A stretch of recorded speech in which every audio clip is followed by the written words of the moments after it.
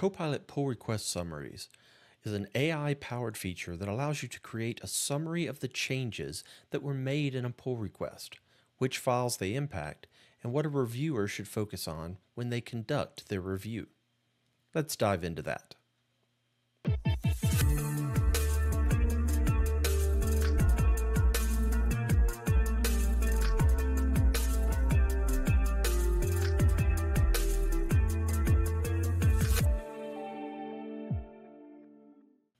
Hey y'all, I'm Mickey Gousset.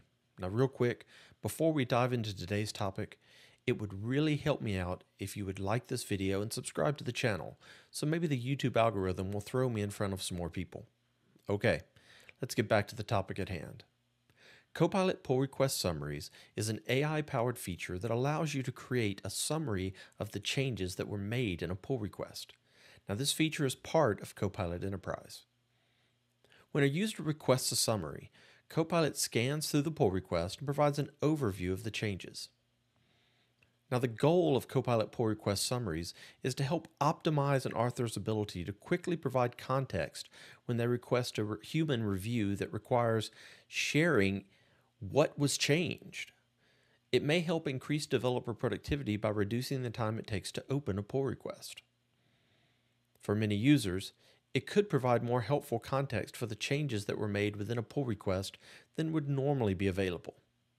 Now, the idea behind this feature is not to replace what a human might write, but to supplement it. You definitely need to read what Copilot creates for you and make the appropriate modifications to ensure accuracy. All right, let's take a look at this in action. Here we go.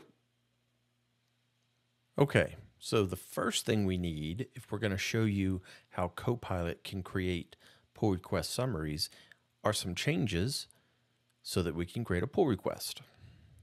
So I'm going to come up here and flip over to this testing PRs branch where I've already made some changes. You can see it's four commits ahead. And if I click those four commits, then you'll see I have the following four changes that have been made. And if I scroll down, I can see the files that I've modified. And I could look at this and try to kind of understand maybe what's been changed in between these. In this case, I can see content stuff, etc. So I've got some changes there. So if we go over to pull requests and we say create a new pull request, I want to create a pull request between my testing PRs branch and my base branch. We can see it picked up the commits. Again, you could scroll down and see the file changes. And I'm going to click Create Pull Request. Now here it's where I would probably say modified files in the repo. And then maybe if I'm feeling, you know, incredibly generous, I might come down in here and say, you know, modified the README, modified some code. But let's see what Copilot might tell me. So if you're using Copilot Enterprise, then you're going to have this little Copilot button here. And if you click that Copilot button, you'll see that it can generate a summary of the changes in this pull request. So let's click that. Now, this is going to take a few seconds, right? Depending on the number of changes that, that you have in the pull request, how many changes there are because it's taking the files, analyzing the files, and then going to come back and give us this summary. So while it's not quite as fast as when you just put a comment in your code, it still gives you a whole bunch of information. So let's actually widen this down a little bit and do a preview here. And you can see that the pull request changes improve the clarity of the documentation, test descriptions, modifications to the README, to the Haiku test JS, to the process.json. And then it tells you what the documentation changes in the README. It tells you Haiku source, the what we've done to the tests, the updates that we've made to the tests, and also the update that we've made to the process.json. Look at that. All right, so let's actually make this a real pull request.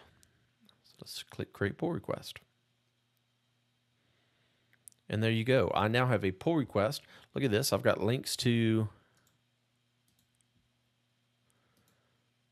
the actual commits to the lines that, that it's referencing. So if when we look at the message and it, it talks about the changes that have been made, it's actually linking me to those changes in the in the pull request. And that is a lot more information than I probably would have typed by myself. Now, to do my due diligence, I do need to make sure I read this whole thing. If it's not accurate or there's extra information I want to provide, I need to provide that information. But I love this because it gives me a lot more detail than honestly I probably would have typed myself. So there you go.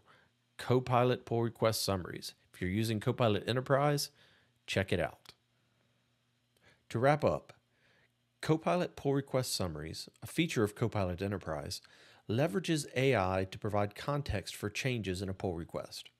By scanning the PR and generating an overview, Copilot assists authors in sharing relevant information with reviewers.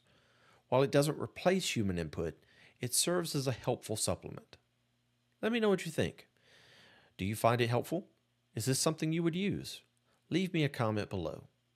Thanks for watching.